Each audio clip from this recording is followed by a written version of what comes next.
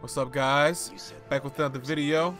This is a Doc Marten with, uh, you know, I use the motorcycle background.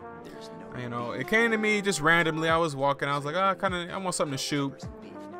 And this boom, looked at my feet. I like this. I like the style of the Doc Marten. So I wanted to try to see how I could communicate that, communicate that style that I think of when I see the, the Doc Marten. So I thought of edginess. I thought of, you know, I thought of metal. I thought of rock why not use a motorcycle? So you know, it's the same simple setup that I used to use transmitter, speed light. I think I'd use 1 60th of a second, ISO 100. Pretty simple setup here. Um, it was pretty dark, so of course when you play with darkness, you should use a, you know, something to make sure you get certain highlights to pop. This is a more darker subject. I kind of wasn't, my goal wasn't really to insinuate the features of the boot just yet. This is more like just showing the style, showing showing what's capable, you know, when wearing this shoe, what's what's fun, what it brings to the table. I don't know where I'm going with that, but like you know, of course you see me with the swivel, you know, that's my that's my stuff, the swivel little touch screen, so I ain't not messing up the not messing up the, the motion my my my uh, tripod's a little weird, so sometimes I gotta just touch do the touch screen, let it do its thing, autofocus, and boom, I get a nice pic. And like I said, I did a couple shots, you know, basic shots, something you can see on a poster or in a, on a bus, what have you. Then I kind of went in, tried to be a little more stylized. You'll see me get low, and the thing about getting low on a on a subject and getting close with a wide lens, it kind of can throw portions of throw the proportions off with the boot, and it did. So I don't think I ended up using those later on, but we'll see that process later.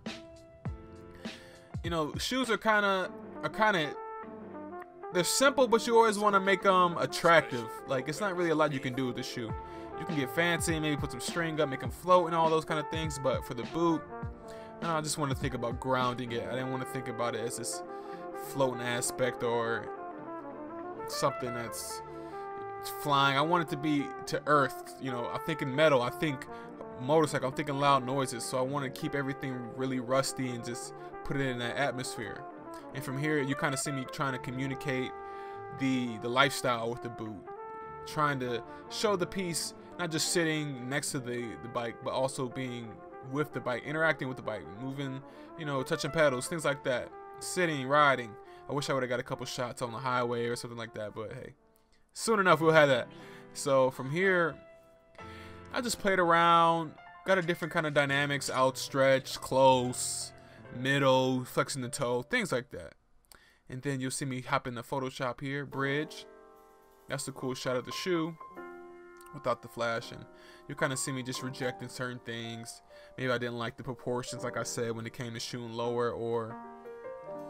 And also another thing you'll see is that I shoot, I was shooting with like an 18 millimeter lens, so it's pretty wide. So, and a lot of my finished products, I crop those down, and I like that's kind of my cheat when it comes to like using a non full frame camera. It's just like, you know, I'm trying to get as much as possible. I might have to sacrifice, you know, definition or closeness I can get, but it's a, it's a kind of a cheat for me, and I and I always, I didn't in this in this in this situation, I didn't want to make it a bike I didn't want to make it a bike photo per se, so you can see how this is like a bike and then it's the shoe. So of course I had to cut those in, zoom in a little, and that was cool. And you of course you'll see me here. Now I wanted to also do like a, e website, like a, a commercial photograph, white background, something simple, something sleek. And you know, just playing with that. Of course I'm outside once again, so I had to deal with the light at speed lights on full blast and my sheet's not super clean so I have to deal with debris and wrinkles and, and things like that. So I was trying to use the Gaussian blur. I think I ended up painting a lot of this stuff and just being subtle putting the paintbrush off like 30% of opacity just to you know give it subtle touches. Didn't want to overly paint.